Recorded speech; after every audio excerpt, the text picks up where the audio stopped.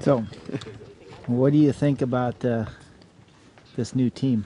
Um, yeah, no, we're quite quite excited to have a bit of a mix around. Um, I mean, it's basically just for this GodZone race at this point. Um, I think we've more still got the same Seagate Racing World Champs later in the year in Australia. Um, but yeah, for GodZone, Nathan's sort of doing some of the, or at least helping with the course planning. So he's out, and Sophie's racing my wife Emily um, and Lara in an all girls team. So I think they'll have some fun.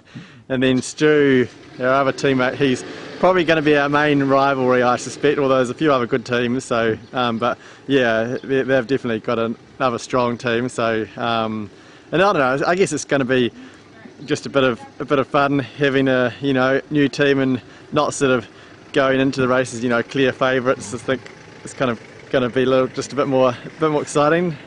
So do you have a uh, small bet in your household about the race? um, not not winner really. Has, winner doesn't have to do the dishes for a year. Not not really. I mean, I guess we all like to sort of think we might have you know be able to out cunning the other teams um, or be a little bit speedier or something. But um, yeah, I, I, don't know. I think there's, um, there's there's been a bit of speculation on the website, but I haven't haven't seen that yet. So,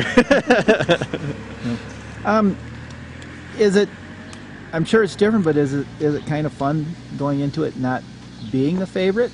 Well, that's what I mean. Yeah, I think it's it's quite it's definitely um, you know a little bit more. Uh, um, I guess you know you don't have quite the same sort of pressure potentially, but at the same time, you know you still do have your own little, you know, goals and um, um, yeah. But I think certainly from my experience of doing races, even with Seagate, is that you know it's always important to try and you know at least realise that you know if you don't sort of try and have a bit of fun out there, then you know it's not going to be as satisfied at the end of the day, regardless of the results. I mean, obviously you want to sort of aim for a good result, but you kind of want to have some fun at the same time, and I think that's always going to be important.